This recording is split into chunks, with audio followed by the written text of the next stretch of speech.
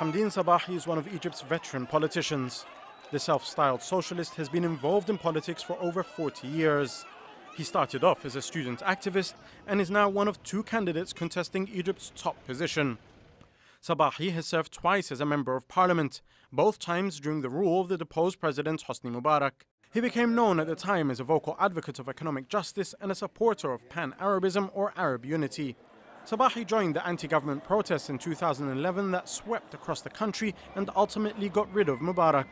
His Karama or Dignity Party then formed a coalition with the Muslim Brotherhood in the parliamentary elections that followed that uprising.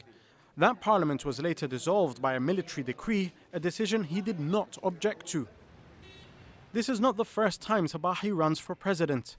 In 2012, he was one of six candidates who took part in Egypt's first ever free and fair presidential election. He came third. The Muslim Brotherhood's Mohammed Morsi went on to win those elections, but within months, Sabahi became one of Morsi's main critics. In late 2012, Sabahi helped form what became known as the National Salvation Front.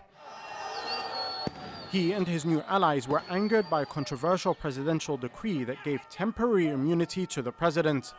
They insisted Morsi no longer had any legitimacy and had to be removed. Sabahi portrayed himself as a champion of democracy and civilian rule, but went on to back the military coup that overthrew Egypt's first democratically elected president. Ironically, Sabahi now says he is the only candidate who can end military rule. His campaign is also centered on his long-time causes of social and economic justice. On foreign policy, he supports a shift towards allying Cairo with Moscow rather than Washington, He's been known to have close ties with Syria's President Bashar al Assad and has publicly thanked the economic and political support given by Saudi Arabia and the United Arab Emirates to the 2013 coup.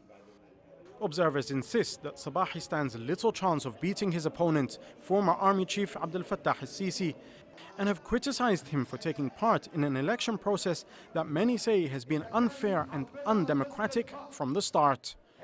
Jamal Elshayyal, Al Jazeera.